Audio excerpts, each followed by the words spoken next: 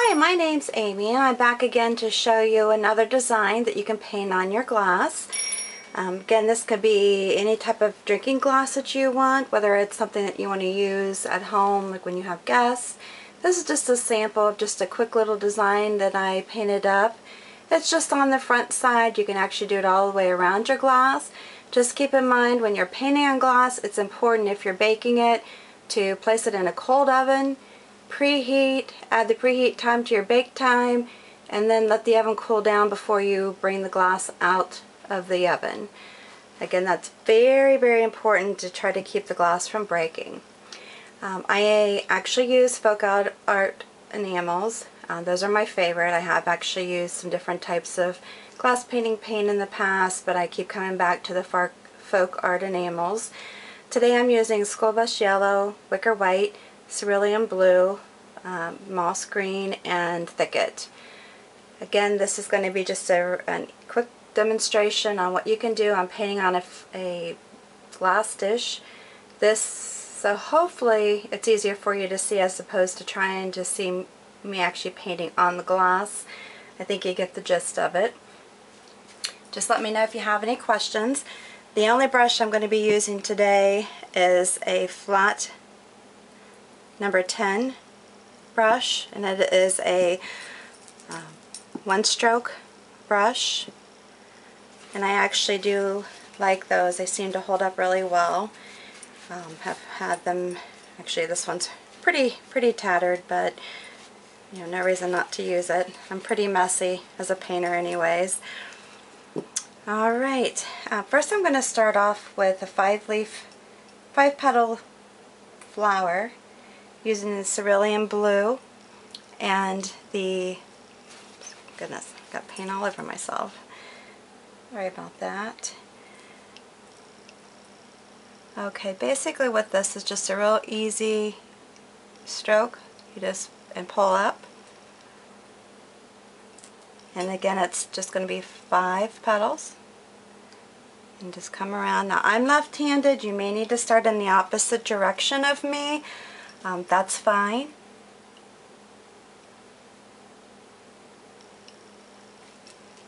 Sometimes I have a tendency to do things backwards because I am left-handed, but that's okay. And to keep in mind when you're painting on glass, it's really easy for you to turn your piece to get the strokes in the direction and looking as nicely as you would like them to be. A little bit more difficult when you're painting on something that's stationary. One thing I like about painting on glass is the fact that if you make a mistake, it's easy to correct. Or don't like what you painted, wash it off, start again. Keep in mind too that it's very important when you're working with glass that you either clean it with soap and water, dry it, and then you're ready to go or you can clean it and wipe it off with rubbing alcohol. That's also a very nice uh, product to clean your glassware with before you start painting on it. The folk art enamels, one thing nice about these is that they can either be baked in the oven or cured for 21 days. Now when they say cured, that's just for the paint to be totally set.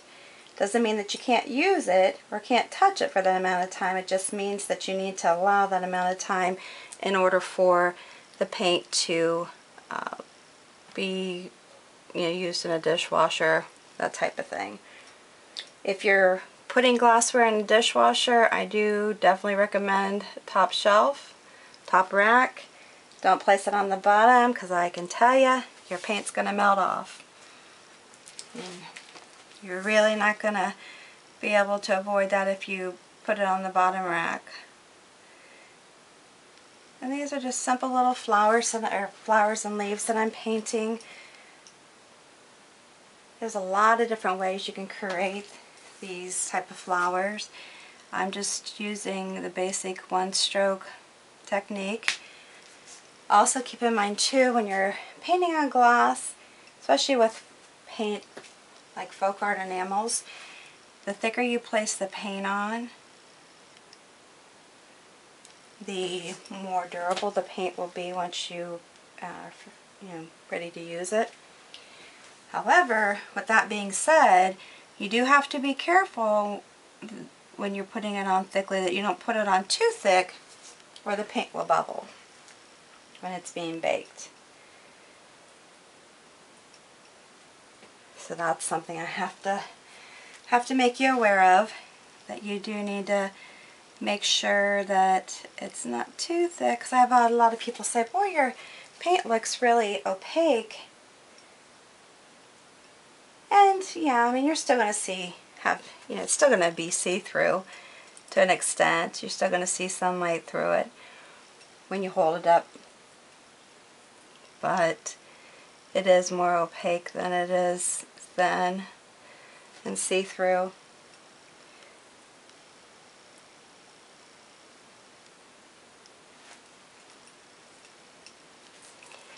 And again, you just have to keep playing with it till you get it to where you like it. I like to couple two leaves together at a time. Not sure why, but that seems to be my favorite way of painting. Glass is also a great, great thing to practice on if you're trying to get your strokes. Um, I like to paint on glass for the fact that your brush flows nicely and it's easy to clean off and start again if you need to.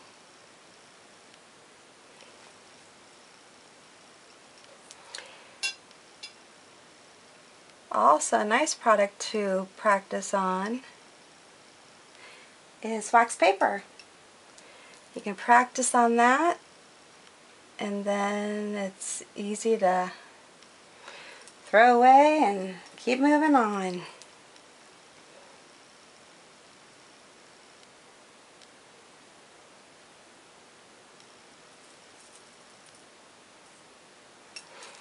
Like I said, this this is a an easy design.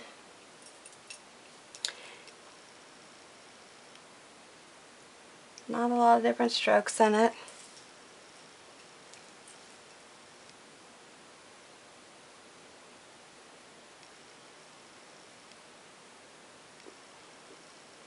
Let's add some little interest to these petals here.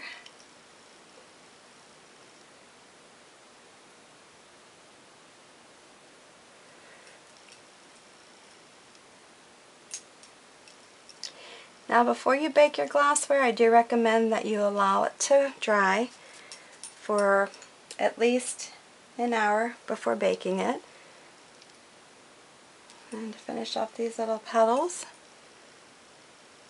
I'm just placing a yellow dot in the center and on the ends of the little ones that are cascading out here a little bit.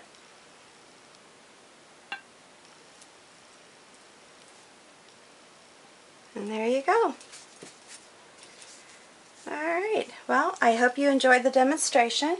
Feel free to ask me any questions, leave any comments, and uh, let me know if there's anything I can do to help you. Thanks for stopping by. Have a good day.